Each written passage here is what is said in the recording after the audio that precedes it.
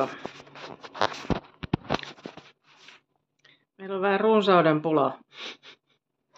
Maitoa tulee joka tuutista, sitä tulee 6 litraa suurin piirtein päivässä ja vaikka vähän antaisi sitä muillekin, niin silti koko ajan on jääkaapissa ton verran ja mä oon jo kuorinut osan kermoistakin tosta ja tein pannukakun, se on kohta menossa uuniin ja voita tulee tänään vähän myöhemmin ja semmoista, niin silti, silti tota, nyt mä menen kohta lypsään ja tulee taas 6 litraa ja en tiedä se mahtuu.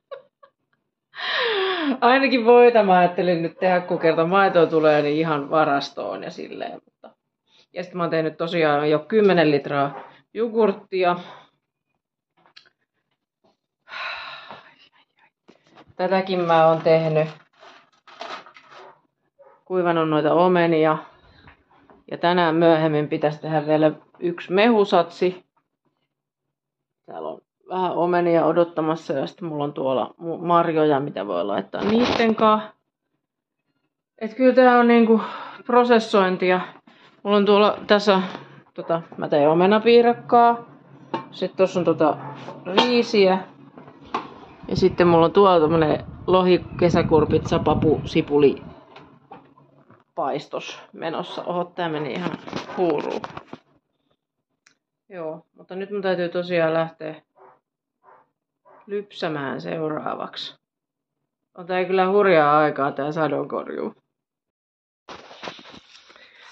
Noiden kotitaloushuolien lisäksi mulla on kyllä ollut paljon muutakin mielen päällä opiskelua ja sitten muita perheasioita ja muuta semmoista, mikä tota, vie tätä ajattelutilaa niin paljon, että ei välttämättä aina pysty ihan keskittymään tämän videoiden tekemiseen, mutta niistä sitten enemmän myöhemmin. Ei mitään vaarallista ole meneillään, mutta asioita, joita täytyy pohtia. Mä en nyt tänään kuvaa tätä mun lypsämistä, mutta mä pistän tähän video seuraavaksi semmoista, mitä mä kuvasin muutama päivä sitten täältä lypsämästä ja muuta, niin saatte nähdä sitä nyt seuraavaksi. Olkaa hyvät.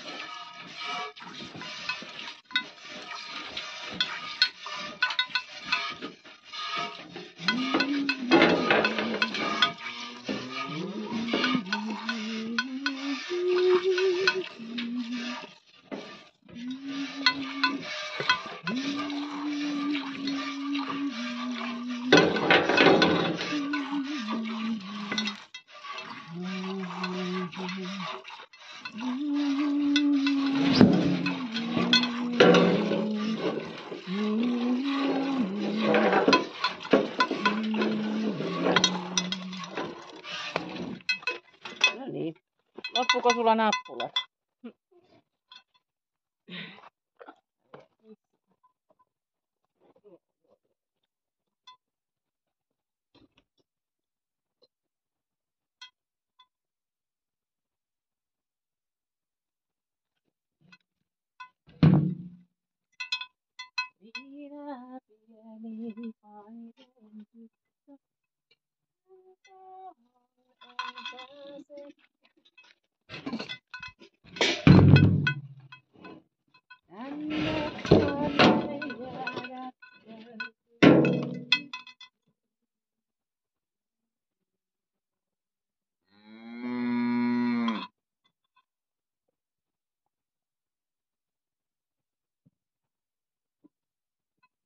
sinänsä tykkää nappuloista.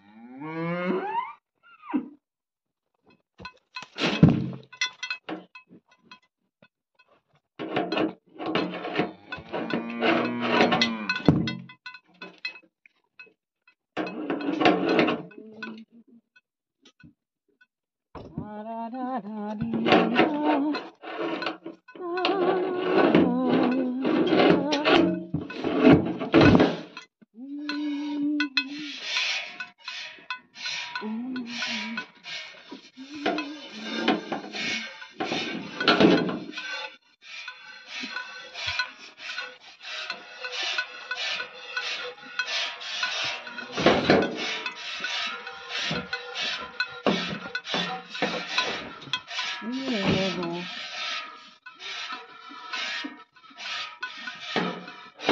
Tää täytyy tarkkaan ajoittaa tää.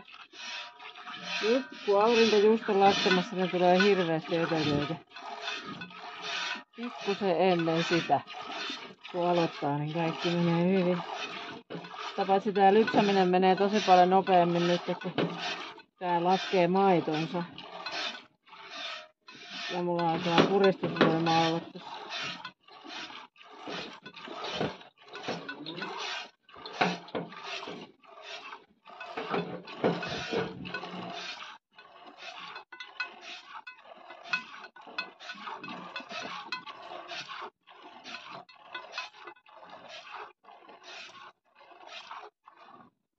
Tuonne alalaitumelle kun kävelee pari kertaa päivässä, niin kunto kasvaa. Oi haskunut. Ja paitsi kohta on laidun kausi ohi.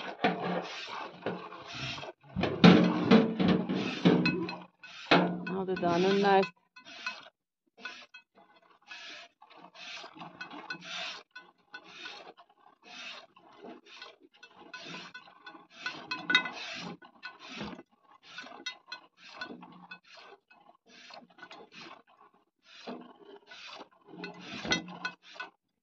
käytän aina huilitaukoina, kun käsi väsyy. Niin näitä tyhjäämistaukoja.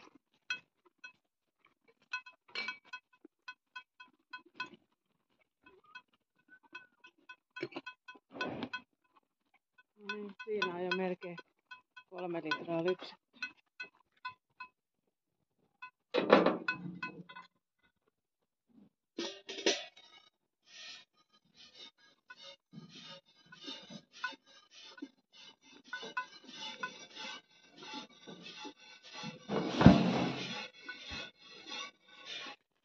Kuvakulmat on hankalia.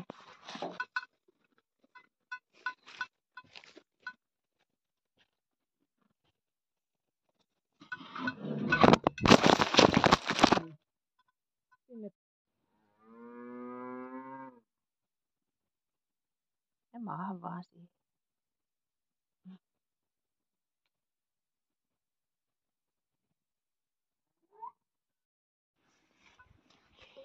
No niin, taas kelpaa syödä.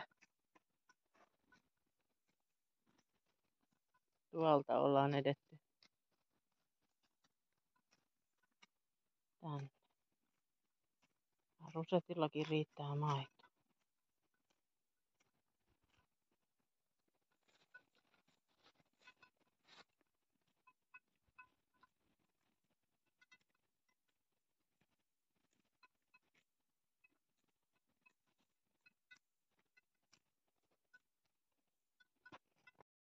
Mitä Filo?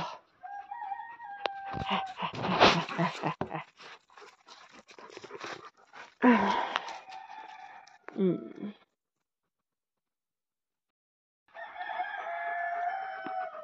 Me päätämme nyt täältä tähän.